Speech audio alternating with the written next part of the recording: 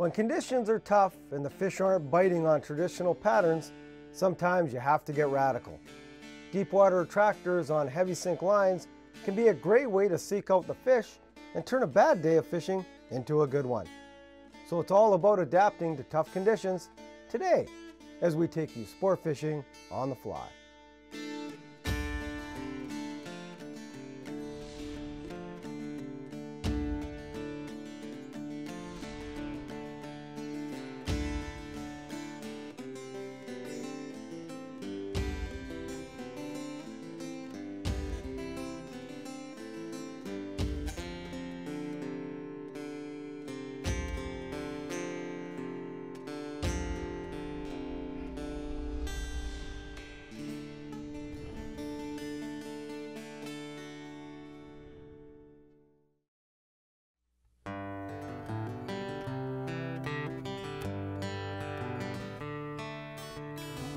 This guy. Boy, that's right out into my backing.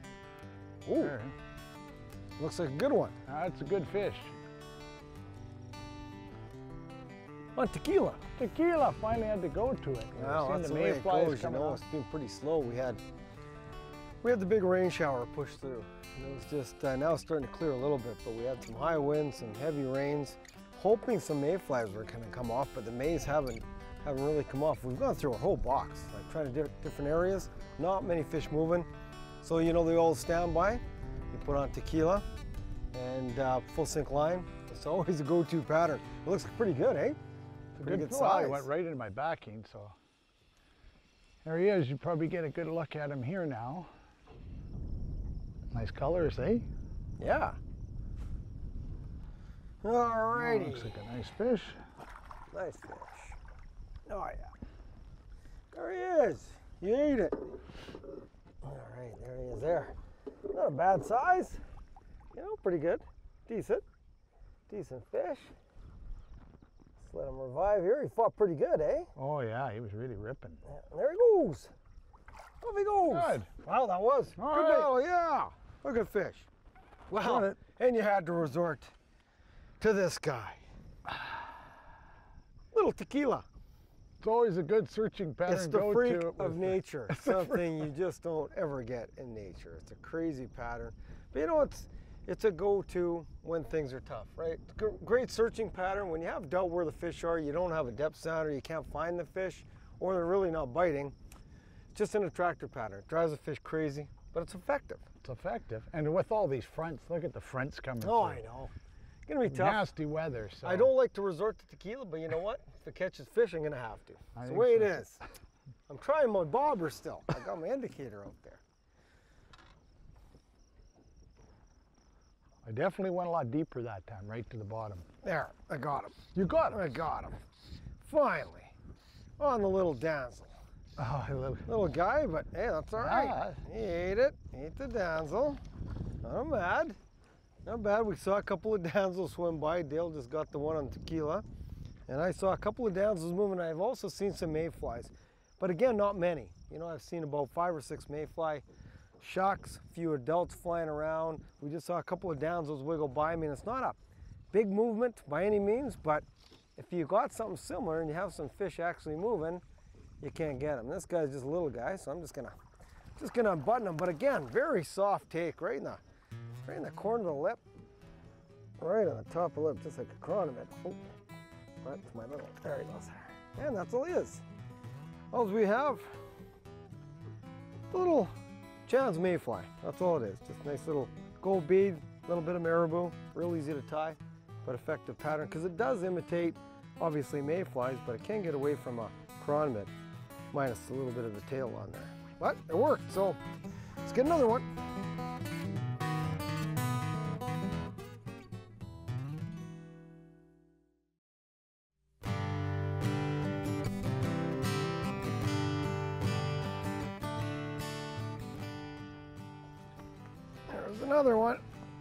That's a bear fish. Yeah. Yeah, Oh yeah. coming on the bite. Oh yeah. Oh yeah. Ah, they're coming on. Now they're coming on. So I think the mayflies will probably work pretty good. We've got them on. I'm just keeping the keeping the damselfly on. And this is a better fish. Oh yeah. You can tell it's just slow hand movements. Got it down about six, seven feet, fishing eight feet of water. Letting the wind drift a little bit and then real slow hand retrieve. I'm just hanging my, my damsel on there. And with that bead head, every time you give a little motion, just dips down a little bit, just dips down like a downs damsel wood is making its way up. And this guy is pulling hard. It's a nice fish. Wow. Yeah, they're nice fish, eh? Good Oh, fish. yeah. You want me to? Yeah, he's a nice guy. Oh. Yeah, that's Oh, better. that's good. getting. Oh, you ate it too, eh? Yeah, that's gonna be a nicer size. Yeah. A little Nice bit better. fish. Nice fish. Gonna hold the net. I'll just uh, be able to unbutton them here. Oh, and they'd eat it pretty good. It's right on the top, right on the top lip. Look at it. It's right there. It's just tough to get at. There. There. Okay, flies out. Oh yeah, nice guy. Just not huge, but again, look at the colors, eh? Yeah, they're really nice fish in So here. that guy came from, uh, I must have kept from the depth because look at how green his back Yeah. is. Back's really green. Excellent. Two Oh, quick yeah. ones on the damsel. Well, they're starting to come on now. Like I had a couple more hits on the booby, they're on the damsel, so now we got that kind of weather coming. If we don't get bombed again, Wow. we'll be That's it. it doesn't look very pretty. We might get hammered again, but yeah, well, that's fishing. He poached my fish. He poached them out. right off the weed edge. Oh, nice fish too. We're off the surface, eh? Here's right up near the top. Yeah, another not bad one. Nice fish, nicely colored. Decent size. We need some of those big guys boiling around. Yeah, that's what's nice about a lake like this, though. You catch a bunch of fish like this, and you catch the big guys too. There's some big fish roaming around Yeah, exactly. Okay, I'll get him around and net him. There he is.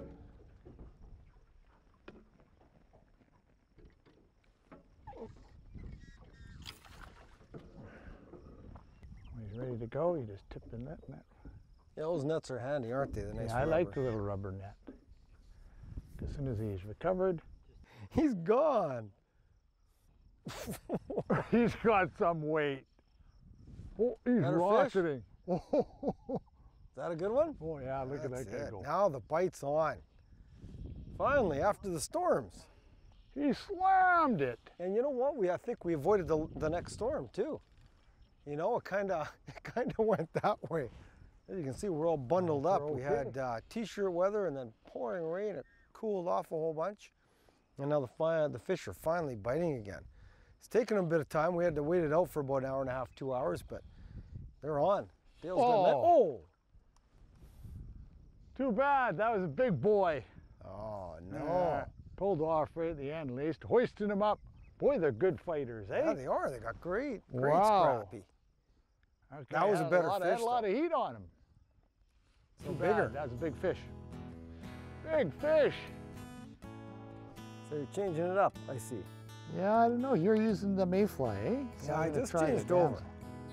Because I just, uh, you know, I've had a few on the damsel, but now I'm seeing a lot more activity on the, especially the mayflies. Well, the sun came out, right? We had the big storm pass over. Sun's Yeah. out now, and uh, it's gotten a lot warmer, and I've seen a lot more mayflies hatching. Like we have a lot more, a lot of adults, a few spinners on the water. I'm seeing lots of shucks, so I've just changed over to my uh, Ostertrill mayfly net. I'm just gonna hang it in close in there. And what are you thinking? I don't know. It's going to use a little seal bugger, but maybe But those fish are right, like there's some right in I those know, weeds, right in big guys, but they're pretty, pretty finicky in there, and they're pretty, uh, pretty tough to get. I wonder if I should just use a normal damsel. You had a regular damsel on, I eh? had a normal damsel on there, yeah, and I got a few. Mayfly? Yeah, on the mayfly. Yeah, well, they have to be, right? There's got to be fish feeding on these mays. They got to be Yeah. moving for the nymphs. Of course, one of my favorite patterns is the uh, Ostertrill mayfly. It's just, uh, you, can, you know, the cool thing with the Ostertrill is you can tie it in so many different colors. You know, I've, I've gone from pink to bleach to browns and greens, and this one, of course, my brown. There, little guy, And he ate right on the Right on the side of the lip. I'll just let this guy off. He's just a little guy. Right on the, right on the side of the lip. There it goes. Wow. Well, that's Okay, good. You obviously chose, you selected correctly. I did. I selected wisely. Let's see what, what Yeah. this guy could do. Well, that's a good sign. Now we just need a bigger guy to eat. I want a big guy now. There was some big guys slurping in there. Yeah. I lost that one that was about four pounds. Oh, there's some nice fish here. Oh, there are.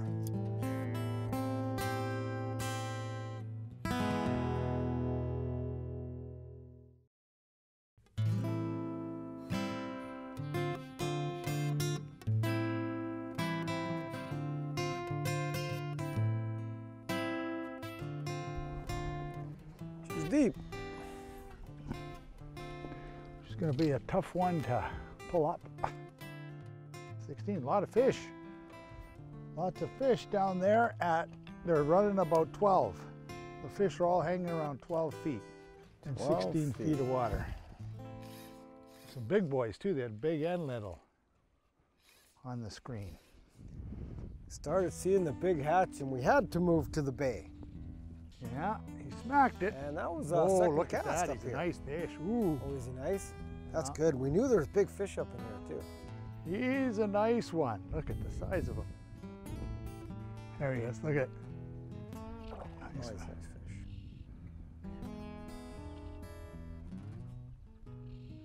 Boy, they're tough, hey? They are. There he comes. There he is.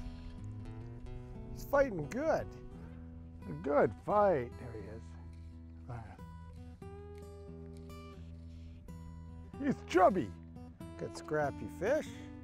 Yeah. Healthy. Fat and healthy. That's good. We know they're up here.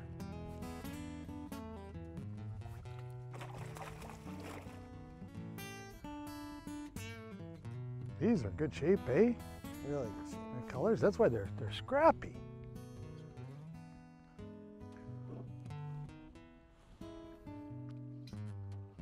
Nice.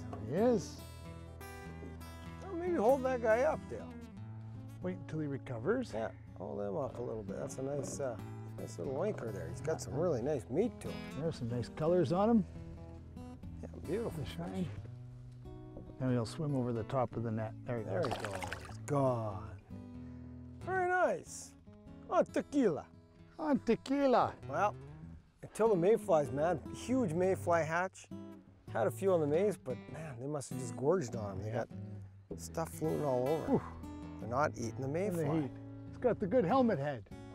just think we got problems too. You know, we were wanting to wind drift mayflies when you get a really good drift.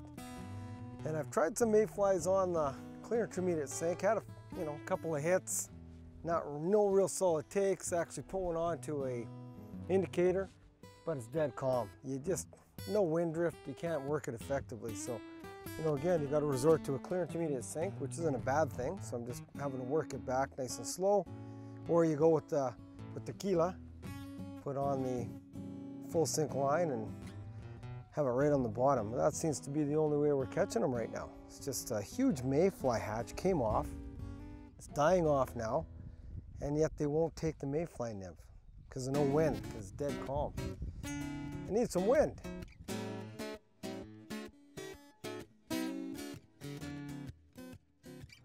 I'm going to tie my baby damselfly nymph. This is a killer pattern, particularly early in the spring and late in the fall when trout love to gorge on juvenile or immature damselfly nymphs. They'll come into the shallow areas in amongst the long stem bulrush or other vegetation and actively seek out and pick off baby or immature nymphs. It's a very simple pattern to tie. It works great suspended under an indicator, fishing those open water pockets. For the hook, we'll use a size 12 scud pupa, some 8 aught olive thread to tie with, a 7 64th inch gold tungsten bead for the bead, some olive marabou for the tail, some twisted olive marabou for the body, and a fine gold wire for the rib. So I've got my tungsten bead on, and I take my tying thread, And the reason why I've used that tungsten bead head is it just provides a lot more action to the flies that's dropping through the water. And particularly when you get a little chop on the water, um, it just, in combination with the marabou, it makes for a great uh, uh, movement to the fly. And then I'm just tying in my gold wire, taking a piece of my strung marabou, and you definitely want to use strung, not uh, woolly bugger marabou, you want the fine tips of the marabou, marabou to be um, um, flowing in the water. So I'm going to tie this in by the, tips, so, right at the bend of the hook. Bring my thread forward, and then I'm just going to take the rest of the marabou and uh, twist it or spin it. And this will make the, uh, the marabou fibers stand out. So bring it right tight to the back of the bead, tie it off, and then we're going to take our gold wire and just carefully wind it and wiggle it as you wind through the marabou because you don't want to flatten out all those uh, fibers because they really do pulse in the water out there. And as I said earlier, this fly, it's just deadly under an indicator, tied on with a non-slip loop knot. And we'll just whip finish it, finish it off. Very simple pattern, but very effective. And there you have baby damsel.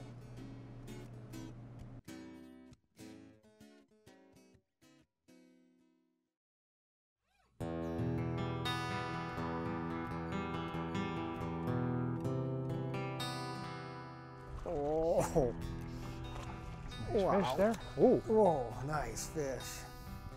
I had to resort to it. I had to go with the deep water tractor. So what we've done is we moved out of the shallows. We went in the shallows and worked our damsels and worked some uh, mayflies. But I had to go to the deep water. The fish all moved out. We had no rising fish there, so now we're in about 17 feet.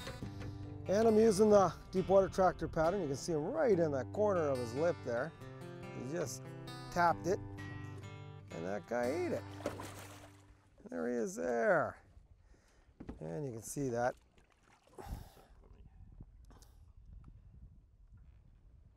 You know, not a huge fish, but again, nice size.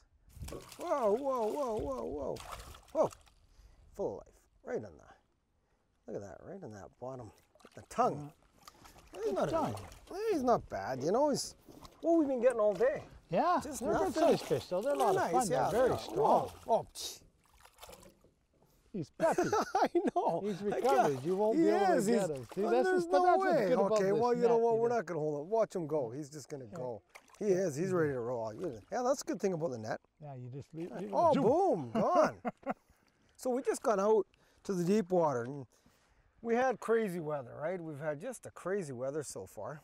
Finally cleared up, and as soon as it got nice, it just shot right off. down. Well, I think the off. fish went back deep. They're So, in the shallow. A so. strategy that we like to use all the time is go to the deep water. If, you, if they're not in the shallow water, they're not on the shoals, you know they're down deep, right? You know they've got to go there.